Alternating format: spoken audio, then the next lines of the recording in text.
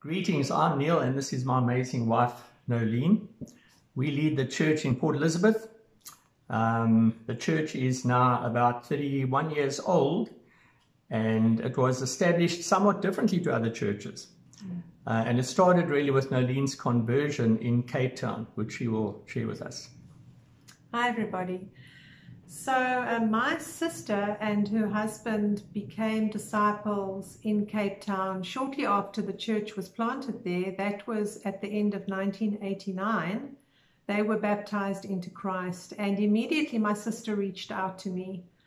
Um, she started sending me some of the Bible studies, and when I went down to Cape Town to visit them in the June holidays of 1990, I studied the Bible there. And it was there that I made Jesus Lord. I was baptized into Christ on a Friday evening, and I flew back to Port Elizabeth on the Saturday. Um, as Neil says, you know, we we see that God was really the one who decided that there would be a, mm-hmm. church in Port Elizabeth because it wasn't planted in the normal way that church churches would be planted. Obviously, there's a lot that I've forgotten through the years, especially the timelines. Mm-hmm. But um, church was in my home. Mm-hmm. I was the only disciple in as part of the ICOC in Port Elizabeth at that time. And um, God did provide another young um, gal who was converted in the UK, in London, who was here for um, part of the time in at towards the end of 1990 and we became friends and started reaching out to people. So um, marissa who's a faithful sister as well she was converted in at right at the beginning of 1992 in a very similar way to me also on holiday in Cape Town where she was asked to study the Bible by friends. And she can remember that she was the eighth disciple mm-hmm. um, who became a part of our little group in Port Elizabeth. And she remembers that we were meeting in my home. We were especially taking the Lord's Supper together. That was really, really special for us. We were a very young group, especially most of the, the conversions had been young people. And um, we also started receiving um, sermon tapes from Cape Town, who sent them to us Prior to that, my sister had handwritten every sermon mm. that there was, every midweek that there was, and she'd sent these to me to encourage me. And um, every opportunity I got, you know, when we went down to Cape Town, I would go to the services and get encouragement. And there were a lot of brothers and sisters at that time who got to hear about me and who would write me letters to encourage me. And um, it was really um, just my deep convictions um, and God's Spirit who continually convicted me that kept me faithful, especially during those you know first years when it was difficult because um, Neil didn't understand this decision I'd made, and so we certainly had some conflict over the decision I'd made. Um, I'm really grateful though that God kept me faithful during that time. I do remember a very special time, which was probably in 19, either towards the end of 1992 or 1993. I can't remember specifically. But we were meeting in a school foyer mm-hmm. and we hit 12 disciples, which mm-hmm. was so encouraging for us. You know, we were now the number of mm-hmm. the apostles and we had a dream yeah. to be able to, at some stage, fill that hall. And it's amazing how many years later we actually did go back to that school and we did go into the hall. And um, we didn't quite fill the hall, but we substantially um, filled some of it, and we certainly would not have been able to fit into the, the foyer anymore. Mm. So um, at that stage, when we were in the foyer, you know, it was really just very exciting for us. We um, met together and encouraged one another. And we were certainly very mission minded, and um, mm. we started having women's days and things like that. Um, so many wonderful memories over those years, and, and I see how God was really um, molding me in those years and deepening my conviction at that time while Neil was still trying to figure out whether Mm. this was something he wanted to do. Um, obviously, I cried out to God a lot Mm. during that time. I reasoned with God. I, um, yeah, I really prayed so much for Neil and for our family, especially because obviously I knew uh, my children were important. I wanted them to be disciples as well. And I knew Neil and I being partners in the gospel was something that was really going to help them. So um, I was so deeply grateful and blown away when um, Neil was baptized into Christ. But that is his story to tell. Right. Yeah, and Noeleen had a super quick conversion. I had a super long one. She took days, I took years, uh, seven years in fact. Um, yeah, and you know, I could tell a very long story, but essentially, I was loved into the family. Um, I saw relationships, especially between the men, that I desired. Um, I didn't know how to do relationships, still learning, I guess. um, but just to see, um, firstly, a very diverse church impacted me big time. You know, this was 24 years ago. Um, yeah, you know, it was very unusual to see multicultural sort of churches. So that that blew me away. Um, there were a few men in particular that reached out to me that had a huge made a huge difference. David Peden, some of you might know, he came through from Cape Town, very relatable. Really reached out to me, became a good friend. And then I do want to mention Lulama Kabingesi, Nomteto's late husband. He led the church here for a while, and we built a great friendship. Um, we would exchange stories when I was in the defense force and he was in the police force under the days of apartheid, and his amazing grace and forgiveness towards um, the oppressors back then really blew me away. We became great family friends. Um, and uh, yeah, that certainly had had a huge impact on me. Um, he sadly died, uh, passed on much too young. Um, but uh, at when he died, that actually convicted me more to make Jesus Lord. Uh, such was the impact he had. Um, there were other things going on at, with my career. Um, I struggled to uh, make Jesus Lord. I pretty much worshipped my career and you know, qualifications and education and uh, being, uh, yeah, kind of a senior guy in my company. But um, thankfully, with Noeleen's prayers uh, that I only heard about afterwards, um, I was able to make Jesus Lord. Noeleen, just very briefly, she actually prayed that God would humble me. Uh, he did that big time. He took my health away from me in my late 30s. Had a minor heart attack, uh, suffered from high anxiety syndrome. Uh, but in hindsight, um, I'm really grateful that Noeleen did pray that prayer. Then, um, you know, various people came to lead the church in PE, um, including the Ficks, Rod and Linda Fick, who had a huge impact on the church. Uh, Lulama probably had the greatest impact, making me a disciple, getting me to the waters of baptism, although he wasn't present to witness that. Uh, Rod Fick continued to make me a disciple. Um, I learned such a lot from him, just his love for people, how to do relationships. Rod also sadly um, passed on tragically, much too young. And that's when, uh, yeah, Noeleen and I really took the baton of, of leadership, church leadership. Um, and that was about 13 years ago. The truth is that Noeleen actually leads the church and I support her, but don't, don't tell anyone. Not true.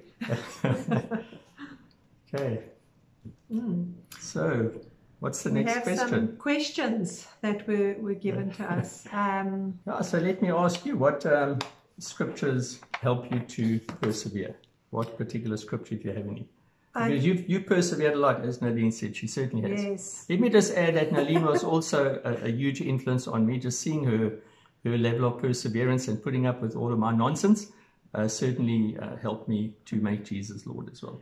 Yeah, I think um, the whole Bible really is just so amazing. I, I've, um, I love the scriptures, but I think definitely there have been certain passages which have stood out for me and helped me over the years really just become key scriptures. And one for me is in Hebrews 12, um, from verse 1 to verse 3, where it says, um, As for us, we have all of these great witnesses who encircle us like clouds. So we must let go of every wound that has pierced us and the sin we so easily fall into.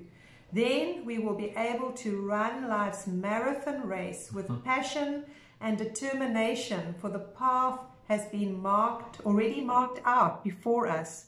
We look away from the natural realm and we focus our attention and expectation onto Jesus, who has birthed faith within us and who leads us forward into faith's perfection mm. or that wholeness. His example is this because his heart was focused on the joy of knowing that you would be his. He endured the agony of the cross and conquered its humiliation, and now sits exalted at the right hand of the throne of God.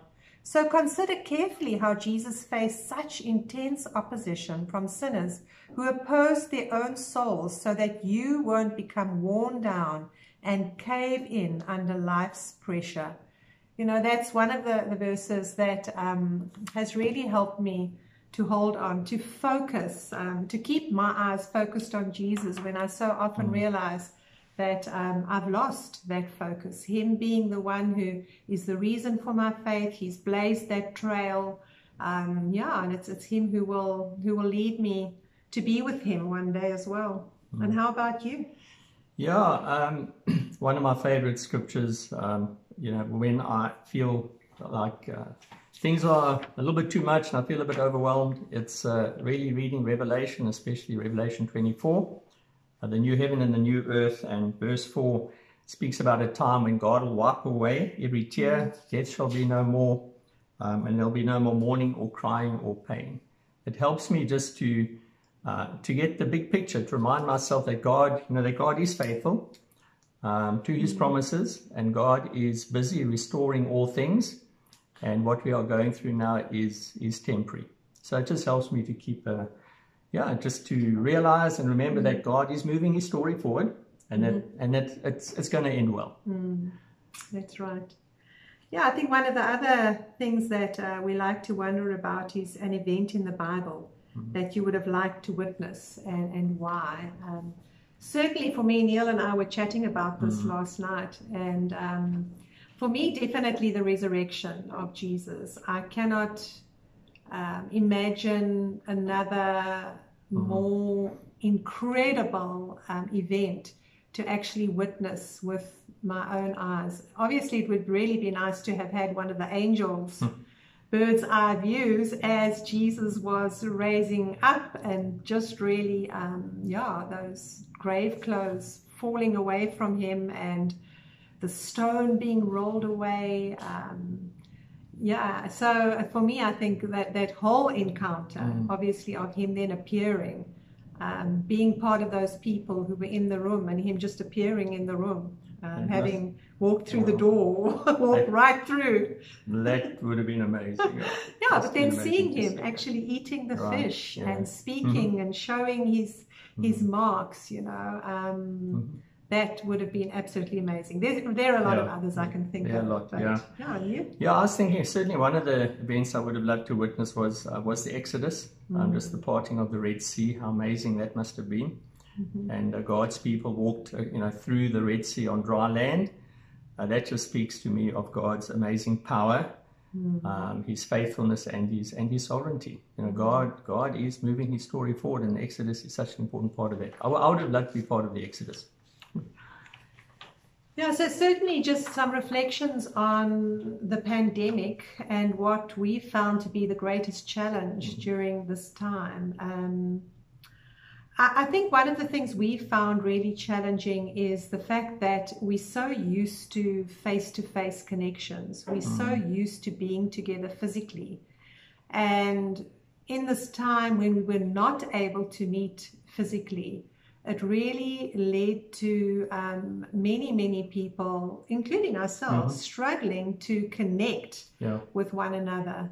In PE specifically, not everybody has access to be able to use Zoom. Mm-hmm. So you often don't really know how people are doing. You don't know what their struggles are. You, mm-hmm. you don't always know really how especially they're doing spiritually with not being as plugged in as we are used to them being so i think that really has been has been by far mm-hmm. the biggest challenge um, thankfully right now we can meet together as a church which is mm-hmm. amazing Um, but yeah, it's it's still kind of like now you're sort of picking up the pieces of starting to meet together and pulling people in and trying to encourage those who are afraid still to come out. So it's still definitely challenging, but um, we see a little bit of light Mhm. at the end of the tunnel.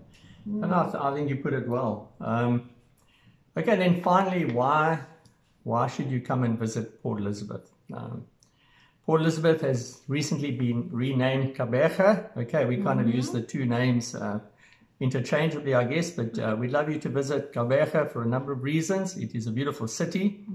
Um, as we speak to you, the wind is howling outside. The wind's a good thing. it uh, keeps the air nice and fresh and clean. True. Uh, but it's a it's it's it's a friendly city. I think it's one of the best kept secrets in Mm. um, in in South Africa.